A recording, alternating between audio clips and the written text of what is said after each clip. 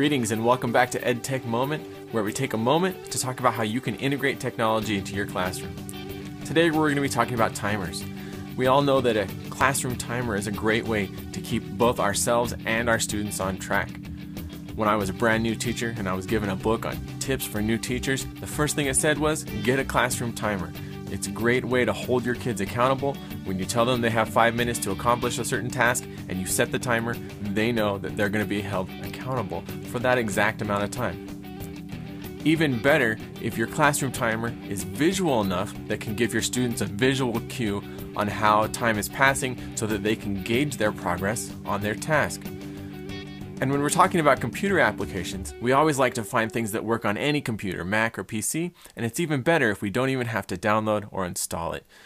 Today we're going to be talking about a timer that you can find online at eggtimer.com.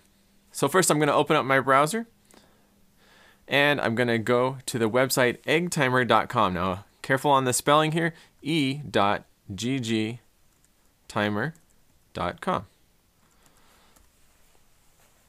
To get started, all you need to do is type the duration that you want to set your timer for in the box here.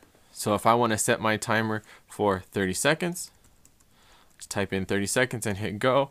And I'm given a very simple, clear timer that counts down the seconds Okay, this is all simply within my browser. I haven't downloaded any program. I haven't uh, I haven't had to install or run any program, and you can see it counts down the time. And then it also gives me this gray progress bar that goes across the screen.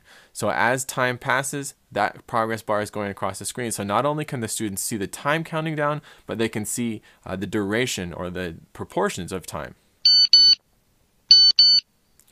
When time expires, we're given a tone and the message that time has expired so we can tell exactly when the time has run out. Another way to change the duration of the timer is simply to edit the time in the address bar itself. So I wanted to add 10 more seconds onto my time. I could simply come into the address bar and change the 30 seconds to 10 seconds and hit enter and it resets the timer. So you don't always have to go to eggtimer.com to start your timer. Just type in e.ggtimer.com slash the duration that you want to set the timer for and it's automatically set and ready to go. Again, the great thing is that this runs on any computer right inside your browser. One more trick that I'll show you with eggtimer.com is that it doesn't have to go full screen. Okay, you can actually reduce your screen down. So if you wanted to have the timer going at the same time as maybe some class instructions or something else, then you could simply lower the size of the screen as small as your words are there, and now you can have that timer running at the top, while other information may be displayed down below, a demonstration, or the daily agenda, or other kind of class information. Remember to visit our website at edtechmoment.com for more tutorials like this. Subscribe to our podcast feed in iTunes or our YouTube channel to be automatically updated when new episodes are available.